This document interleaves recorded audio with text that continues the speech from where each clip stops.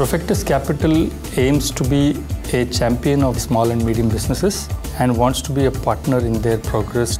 We believe that this non-banking finance company is going to help a lot of small and medium enterprises in India progress. And we want to build a best-in-class institution. My vision is to set up a values-led organization which not only takes care of the bottom line but also makes a difference to the customers and be a partner in progress. Our focus is with sectors which are important to the country such as healthcare, education, automobile components, pharmaceuticals and so on. We provide financing only for growth of a business, providing long-term loans for addition of machinery, addition of say classrooms for an educational institute or addition of lab equipment for a hospital.